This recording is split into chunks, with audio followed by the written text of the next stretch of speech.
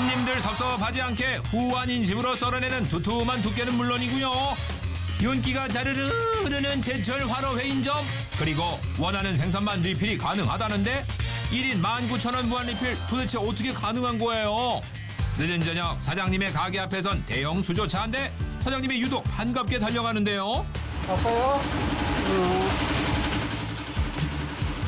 장장이 크게 수화를 하고 있어요. 그래서 물건을 이제 저렴하게 주니까 무한리필도 가능하거든요.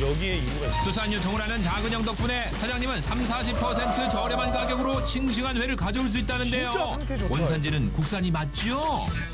수산물 수매 확인서 요청했습니다. 확인 결과 방어, 숭어, 광어 모두 정말 국산 생선 맞습니다.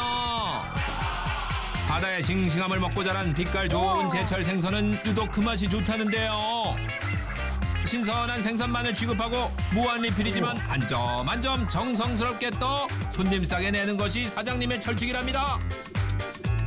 그리고 신선함에 절로 끄덕여지는 고개. 식감. 아 최고. 두껍게. 저 먹을 수 있게. 아, 맛있게.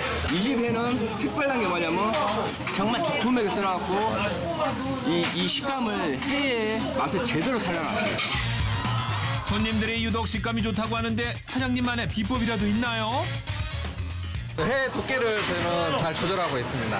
1cm에서 1.5cm 정도 두께로 썰어야 제가 먹어도 맛있었는데 손님이 더 맛있어하는 것 같아서 1에서 1.5cm를 썰고 있습니다.